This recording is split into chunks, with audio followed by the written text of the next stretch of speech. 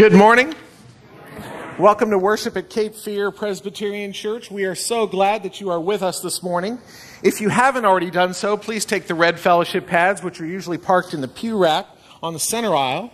If you would add your name to the page, add the date to that page if it's not already there, then pass it on down the pews if there's somebody at the other end of your pew.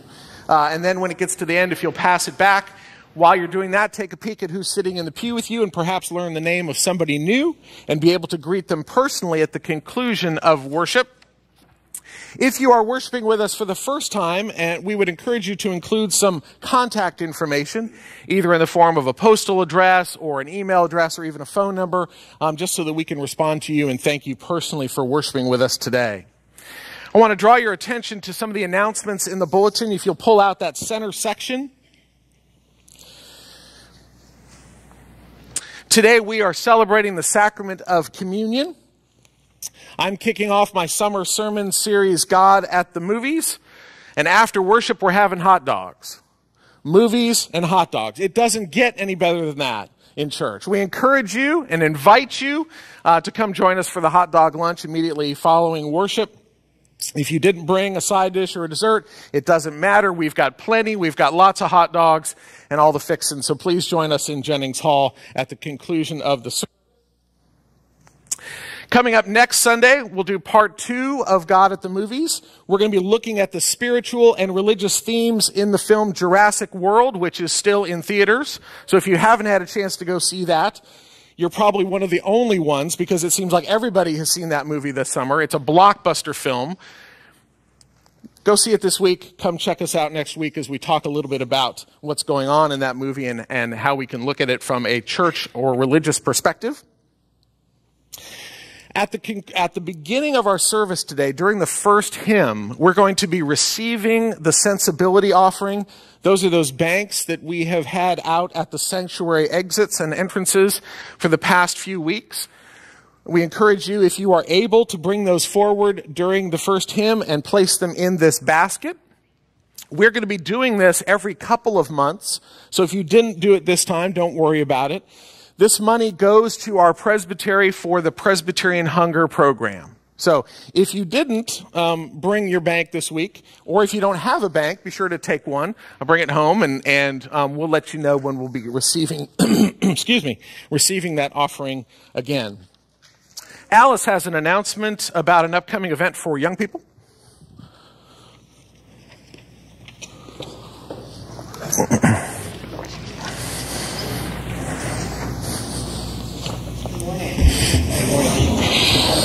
There's going to be a VBS pool party for our youth and for adults who helped with or attended VBS. It's going to be next Sunday, July 12th, from 3 to 6 p.m. ish, hosted by Tommy and Sandra Rourke at their home. And we're so grateful that they open their home each year for this party. Um, we really appreciate it. Um, the address and directions are on a sign up sheet on the VBS board in the hallway, as well as their phone numbers in case you get lost. Um, there will be a hot dog dinner with all the fixins at 5 p.m. So please be sure to sign up on the sheet so we can get an idea of how much food is needed. Um, be sure to bring a towel, sunscreen, flotation device if needed, adult supervision for the youth, and your fun in the sun attitude. You know, it, it strikes me that everybody in this room may suddenly decide that they helped with Vacation Bible School in some way. And we certainly encourage them to pray for it. So in that regard, they were helping. Um, so they all, they're all going to show up at the pool party. Excellent. okay. half hour in the pool, half hour out of the pool. Yeah. Great. I think those are all the announcements that I have. Are there any others? Let us worship God. Please stand as you are able.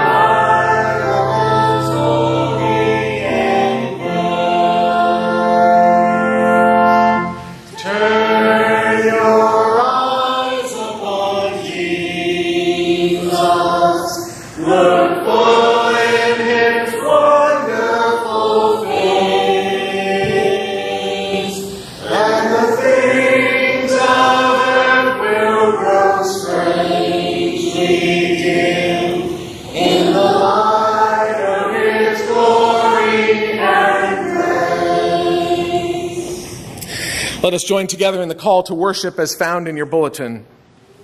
Great is the Lord and greatly to be praised. One generation shall praise your works to another.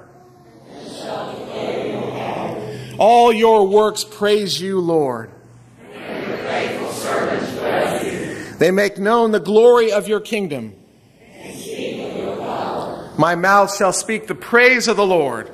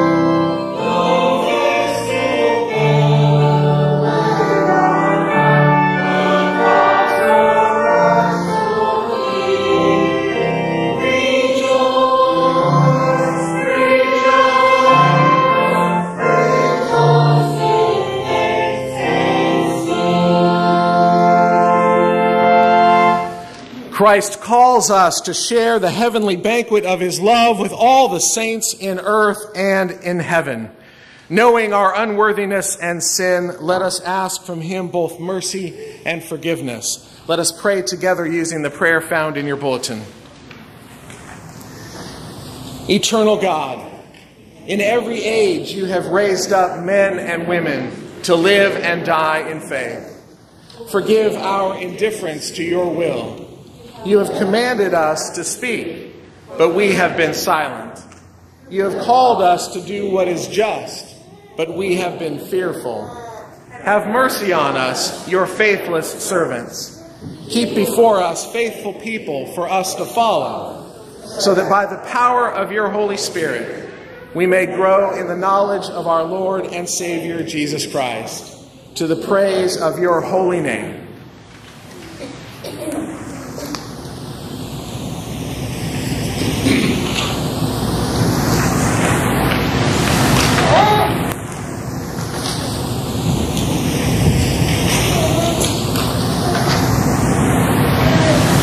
Amen.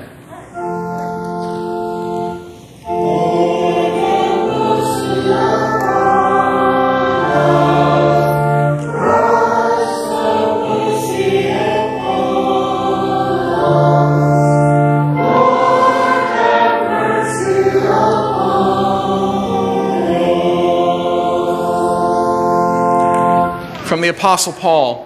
You are no longer strangers and aliens, but you are citizens with the saints and also members of the household of God, built upon the foundation of the apostles and prophets, with Christ Jesus himself as the cornerstone. In him, the whole structure is joined together and grows into a holy temple in the Lord, in whom you also are built together spiritually into a dwelling place for God.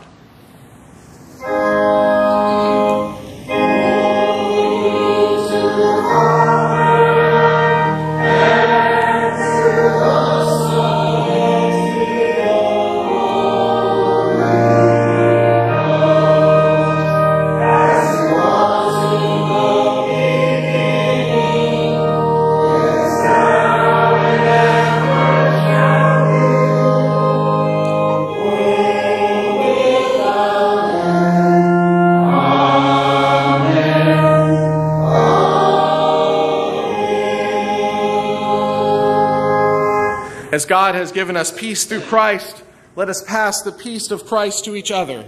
May the peace of our Lord Jesus Christ be with each and every one of you. you. Please turn to those around you and greet one another with signs and words of peace.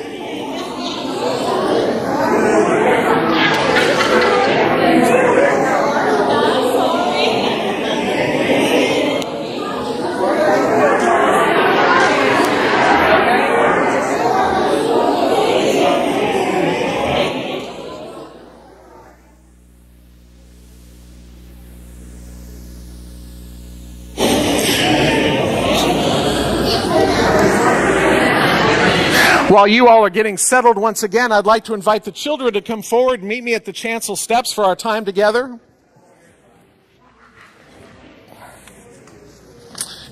Come on up. Kendall's coming. Joey's coming. Kiki's coming. Come on up, you guys. Good morning. Come on up. How's everybody this morning? Good. How's your summer going? Good. Very good. You know, everywhere we go, there are rules. We have rules at home, we have rules at school, even adults have to follow the rules where they work. You have to learn to follow the rules if you want to get along in this world. I found a list of rules called Golden Rules for Living. I don't know who wrote these, but they make a lot of sense. Here they are. If you open it, close it. If you turn it on, turn it off. If you unlock it, lock it. If you move it, put it back. If it belongs to someone else, get permission to use it. If you borrow it, return it. If you don't know how to operate it, leave it alone. If you use it, take care of it. If you break it, admit it. If you can't fix it, call someone who can if you mess it up, clean it up. If it's none of your business, don't ask questions. These are pretty good rules, right? If all the world were to follow these rules, the world would probably be a better place. Living by a set of rules isn't anything new. Even Jesus knew the importance of rules. He called them commandments. One day Jesus was talking to his disciples. He knew that the day was coming when he would return to heaven and he was trying to prepare his disciples for the day when he would no longer be with them. He wanted to leave them something that would help them to live in such a way that other people would know that they were his disciples. In the Gospel of John, Jesus said this, I will be with you only a little while longer. Then you will look for me, but you won't find me because you cannot go where I am going. I give you a new commandment you must love each other just as I have loved you. If you love each other, everyone will know that you are my disciples. Loving each other, loving one another can be hard, right? Someone at school messes with your stuff, talks with you behind your back. Maybe another family member gets on your nerves. Regardless, Jesus wants us to love one another in the same way that he loves us. And that's a huge amount. Jesus loves us unconditionally. We can't do anything wrong in Jesus' eyes. Jesus will always forgive us. Jesus always loves us. And so, what happens when we love one another the same way that Jesus loves us? Jesus says that people will automatically know that we are a follower of Jesus. And that's good news. Let's pray. Jesus, we thank you that you loved us so much that you gave your life for us. Help us to love one another as you have loved us. And all of God's children together said, Amen. Thank you, boys and girls.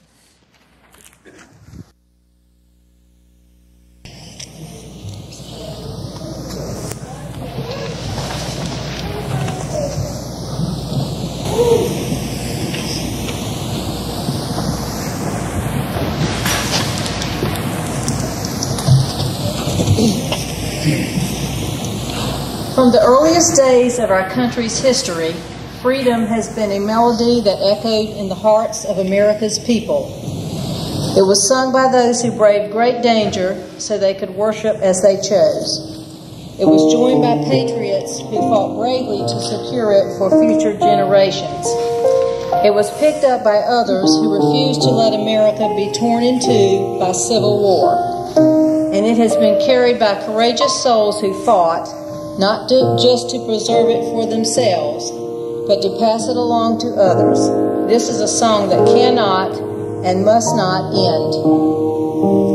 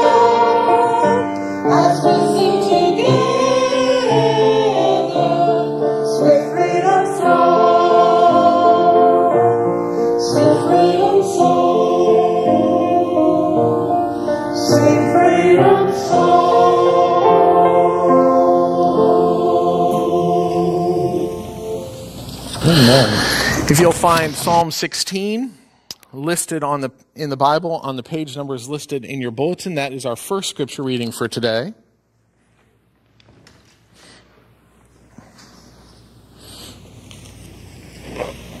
We will read this responsively, which means I'll read the odd numbered verses, and I invite you to respond with the even numbered verses.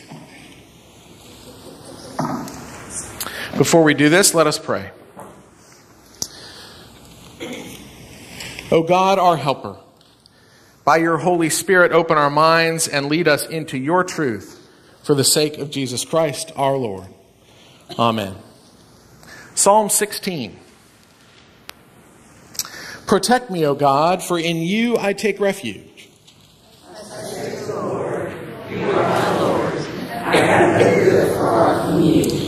As for the holy ones in the land, they are noble, in whom all my delight.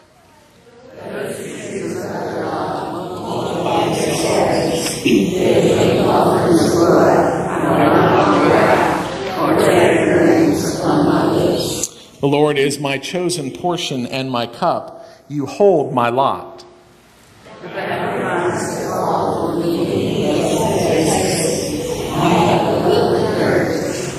I bless the Lord who gives me counsel. In the night also my heart instructs me.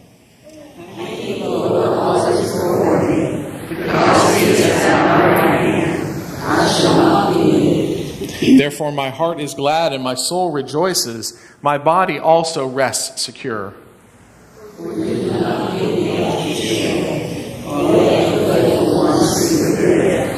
You show me the path of life. In your presence there is fullness of joy. In your right hand are pleasures forevermore. The Word of God.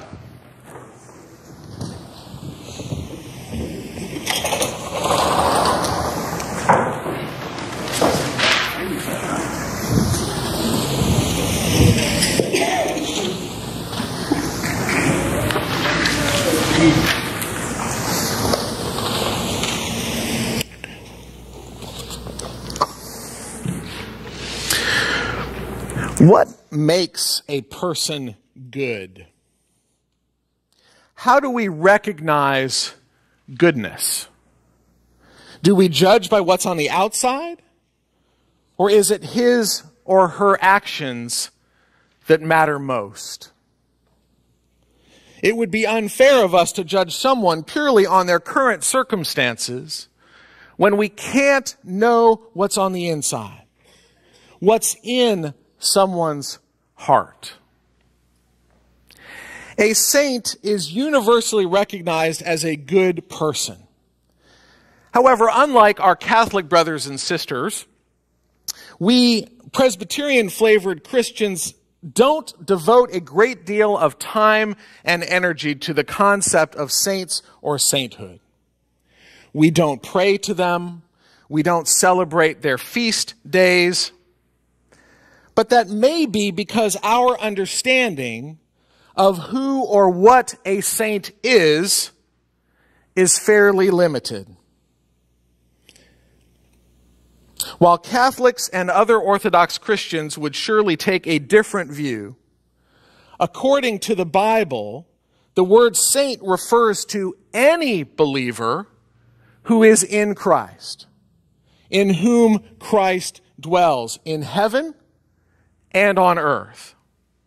Therefore, by definition, saints are more than likely just ordinary people. People like you and me.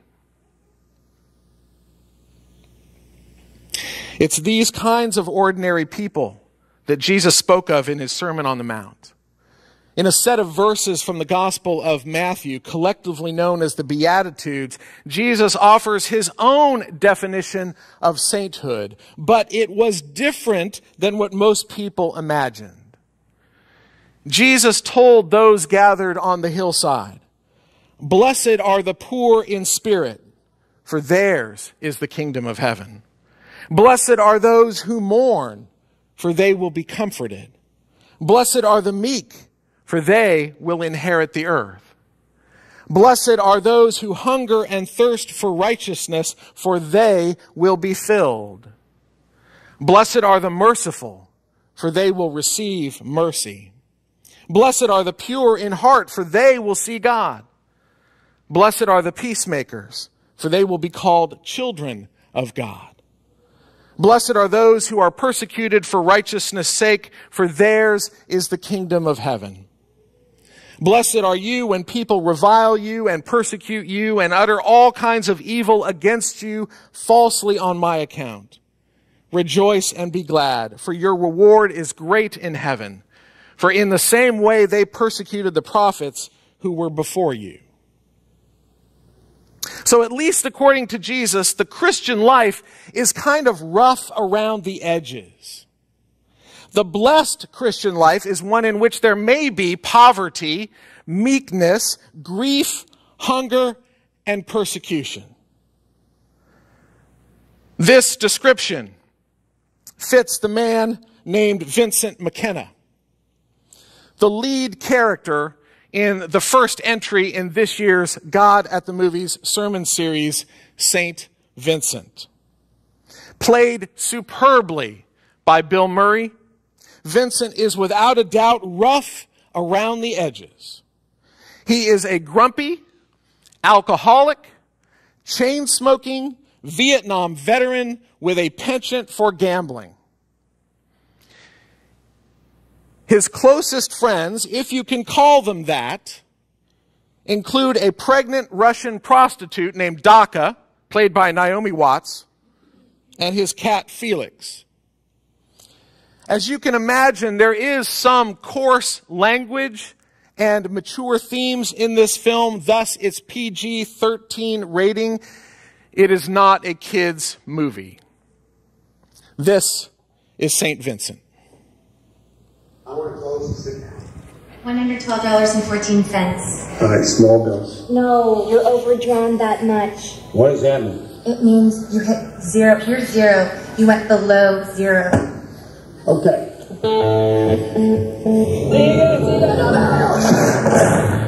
This is my tree, you wreck. I'm calling the cops. Is everything okay? Hey, Maggie, I guess I'm your new neighbor. So, Well, we're moving in. This is Oliver. You can lead us all in morning prayer. Oh, thank God. Sure. Good to know. Sir, take me, God. Don't play with me. I was wondering if I could use your phone. My house? I can watch the kid after school. I can do eleven dollars an hour. Go! Here's a dime. Call your mom. Cost more than a dime. All right, here.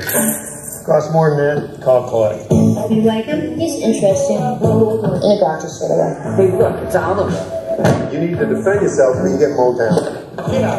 You're small. You haven't noticed. And so is Hitler. What a horrible comparison. So, how do you and Vincent know each other? I work Vincent the Smith. A lady of the night. Do you know what that means? She works at night?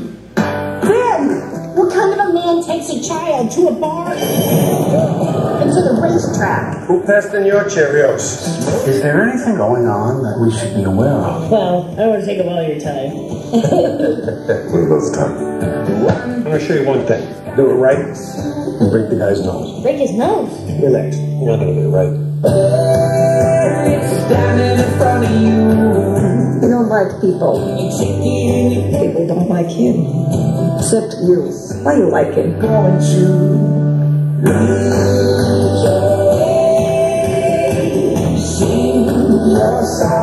sage is a human being we celebrate for the sacrifices that they make, for their commitment to making the world a better place. Why is he mowing your dirt patch? I'm showing him how the world works. You work, you get paid, you drink. Are you drinking alcohol? I honestly don't remember.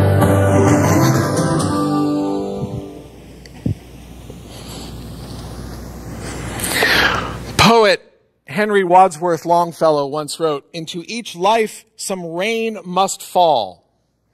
Vincent has certainly had his share of rain, and this current storm comes in the form of his new neighbors, Maggie Bronstein and her 12 year old son, Oliver, played by Melissa McCarthy and Jaeden Lieberher, respectively. Maggie is a single mom in the midst of a bitter divorce, juggling a new job with demanding hours. Despite their awkward first meeting, Vincent reluctantly offers to watch Oliver after school as long as there's some money involved. However, Vincent's somewhat unconventional ideas of after school activities involve visits to the racetrack and a bar. Over the course of the film, however, Vincent and Oliver develop a unique bond. With help from Vincent, the boy gains the courage to stand up for himself, while Vincent softens, demonstrating he actually possesses a warm, caring side. It's through their friendship that Oliver and the audience discover that despite his gruff demeanor, Vincent has a heart. We soon learn that Vincent is indeed married, but his wife has Alzheimer's disease and is living in a nursing home. Though she no longer recognizes him, he continues to visit her every week, still doing her laundry. Despite being in debt, Vincent cares also for Daka, helping her pay for doctor's visits and items for her baby. Vincent means well and makes an effort to care for the people that he loves. It may not be the textbook way of demonstrating affection, but he does care. In addition to the worldly education that Oliver is receiving from hanging around with Vincent, he's learning about saints from his Catholic school. In this scene, Oliver's teacher describes an upcoming class assignment. I chose St. William of Rochester, the patron saint of adopted children. It's a pretty interesting story. All the other saints I looked at were also saintly, I guess. Uh, what does saintly mean to you? I don't know. I don't really believe in saints and all that. I feel like St. William just got to be a saint because he was killed by the boy he adopted. These days, people get killed all the time and they don't get to be saint for it. All right, well, thanks, Oliver. Despite young Oliver's reticence, I do happen to believe that there are things all around us today. that may never be considered as such by religion, but they are just as important as one of your textbooks. Thus, you are going to research someone you know or know of and determine if they have the qualities fit for sainthood. In Vincent, Oliver sees more than the washed up, grown up that everyone else sees. And so he chooses Vincent as the focus for his Saints Among Us project, interviewing those who know him and compiling his life story. He names Vincent as his saint. All right, next up we have Oliver Bronstein. Oliver Bronstein.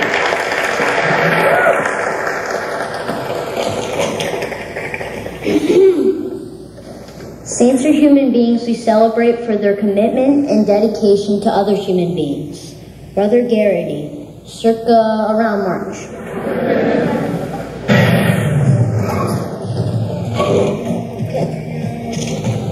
This isn't the hospital. Oh, so now you're a rocket surgeon. Come on, get inside. For my modern day saint, I chose a man who shares many of the same qualities as Saint William of Rochester. On the surface, one might think my saint is least likely candidate for sainthood. He's not a happy person. He doesn't like people and not many people like him. He's grumpy, angry, not of the world, and I'm sure full of regrets. He drinks too much, smokes, he gambles, curses, lies, and cheats. That's what you see at first glance. If you dig deeper, you can see a man beyond his flaws.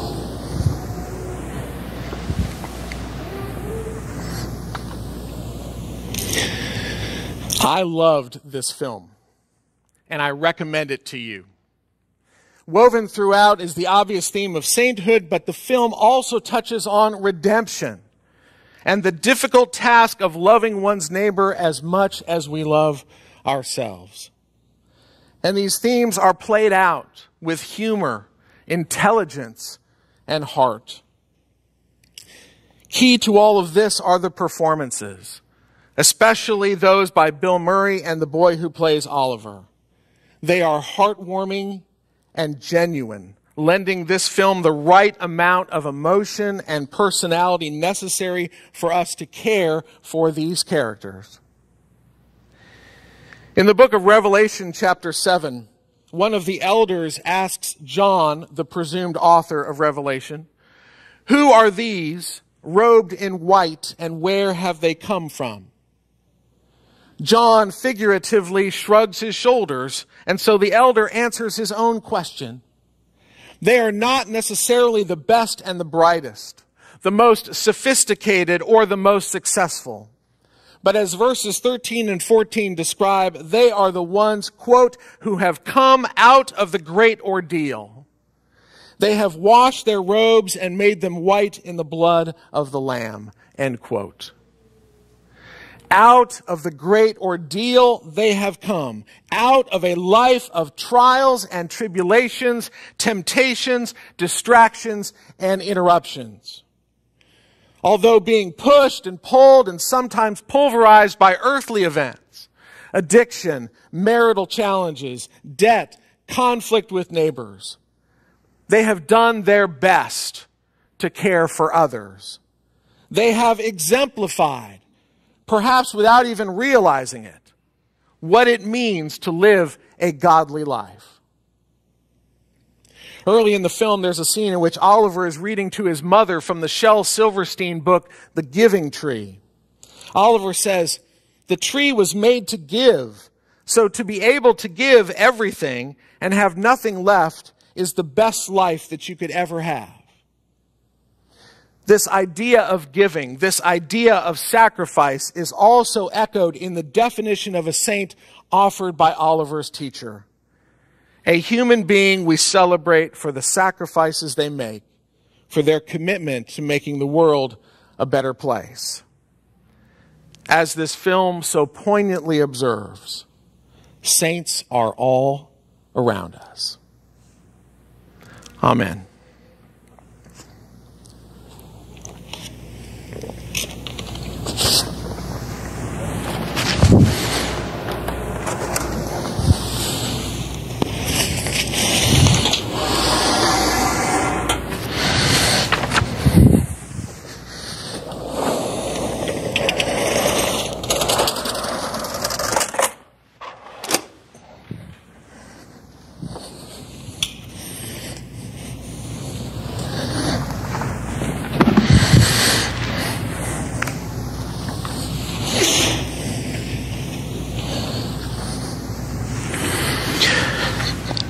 Friends, this is the joyful feast of the people of God.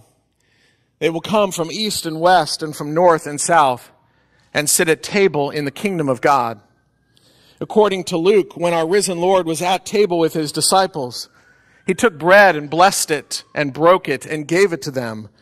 Then their eyes were opened and they recognized him. In John's version of the story, Jesus then washed the feet of his disciples and then encourage them with these words. I give you a new commandment that you love one another. Just as I have loved you, you also should love one another. By this everyone will know that you are my disciples, if you have love for one another. This is the Lord's table. This is not a table of this church, nor of the Presbyterian Church USA, but the table of the Lord. And our Savior invites those who trust Him to share the feast which He has prepared and to be nourished for the tasks for which He calls us. With thanksgiving, let us offer God our grateful praise by singing Taste and See, which can be found in your bulletin. Please stand as you are able.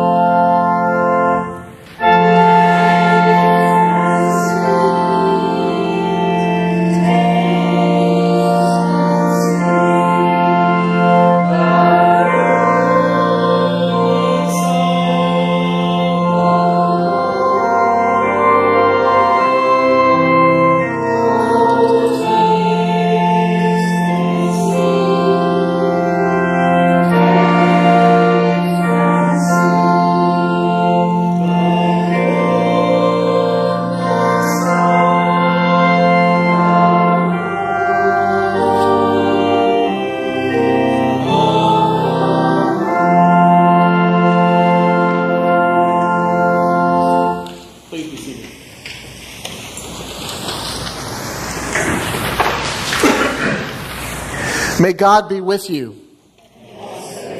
Beloved of God, lift up your hearts. Children of God, give thanks to the one who is our hope.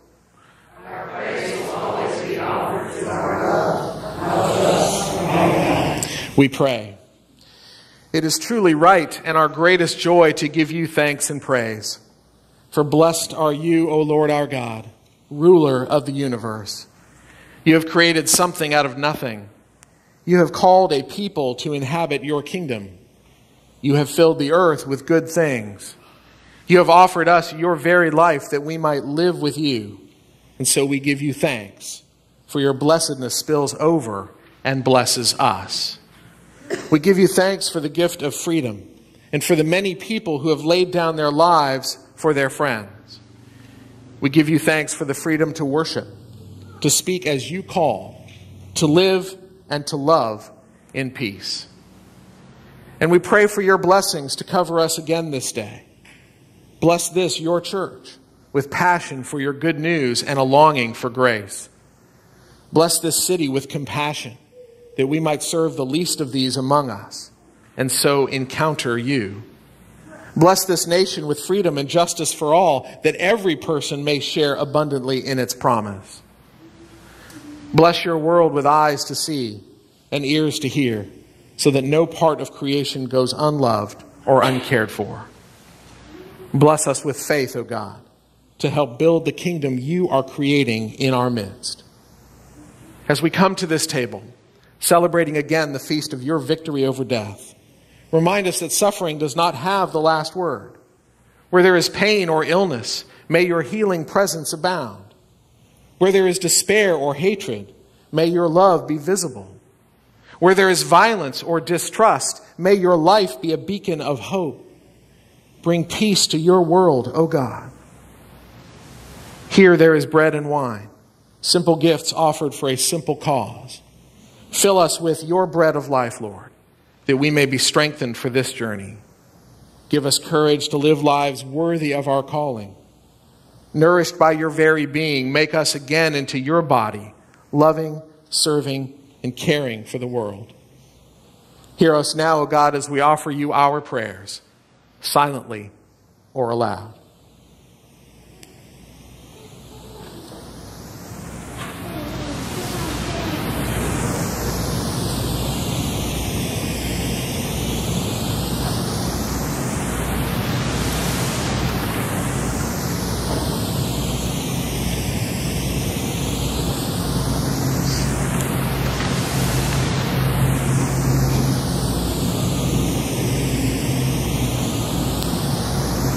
We pray these and all things in the name of Christ who lived, who died, who rose, and who reigns in power, hosting this and every feast. And we pray as he taught us, saying, Our Father, who art in heaven, hallowed be thy name. Thy kingdom come, thy will be done, on earth as it is in heaven. Give us this day our daily bread, and forgive us our debts as we forgive our debtors. And lead us not into temptation, but deliver us from evil. For thine is the kingdom, and the power, and the glory forever. Amen. The Lord Jesus, on the night of his arrest, took bread, and after giving thanks, he blessed it and broke it and gave it to his disciples, saying, Take, eat. This is my body broken for you. Do this in remembrance of me. In the same way, our Savior poured out the cup.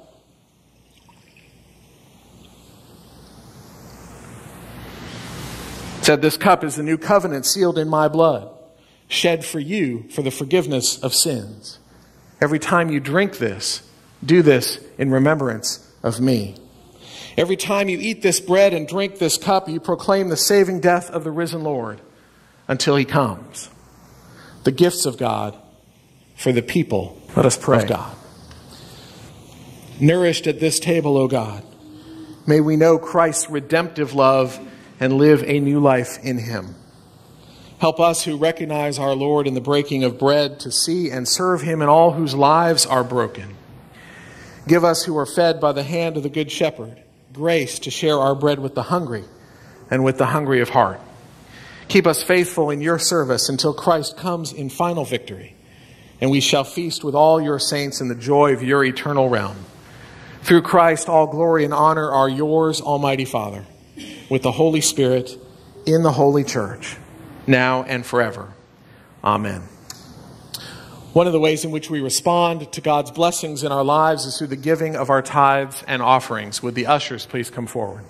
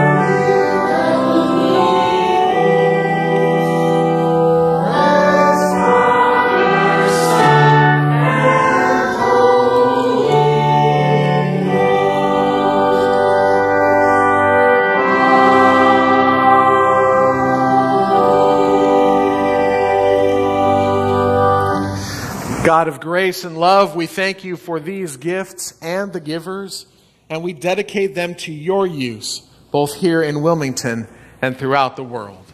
Let all of God's people together say, Amen.